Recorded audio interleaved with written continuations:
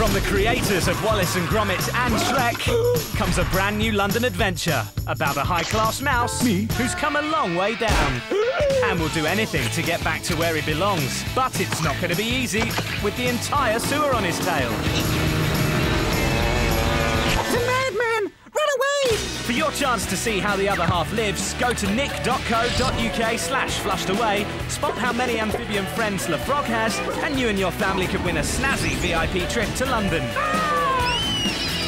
And don't forget, Roddy and Rita will be splashing into cinemas everywhere from December 1st in Flushed Away.